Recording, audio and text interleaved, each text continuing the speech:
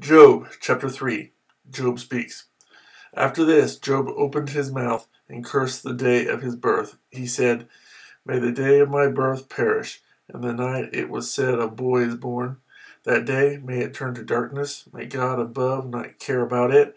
May no light shine upon it. May darkness and deep shadow claim it once more.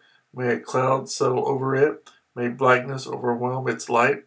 That night may thick darkness seize it, may it not be included among the days of the year, nor be entered in any of the months. May that night be barren, may no shout of joy be heard in it. May those who curse days curse that day, those who are ready to rouse Leviathan.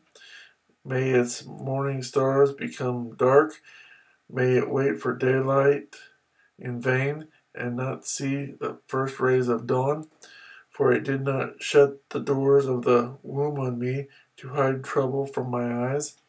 Why did I not perish at birth, and die as I came from the womb? Why were there knees to receive me, and breasts that I might be nursed? For now I would be lying down in peace.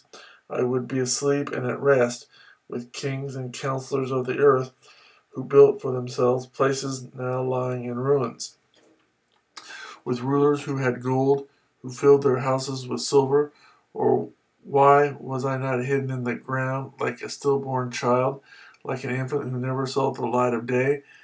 There the wicked cease from turmoil, and there the weary are at rest.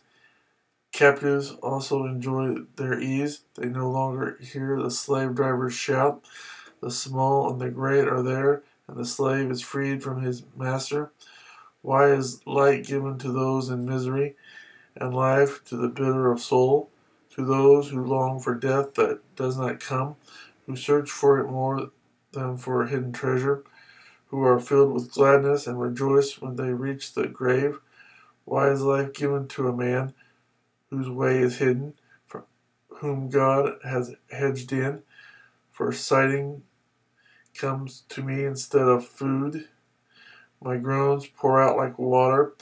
What I feared has come upon me. What I dreaded has happened to me. I have no peace, no quietness. I have no rest, but only turmoil.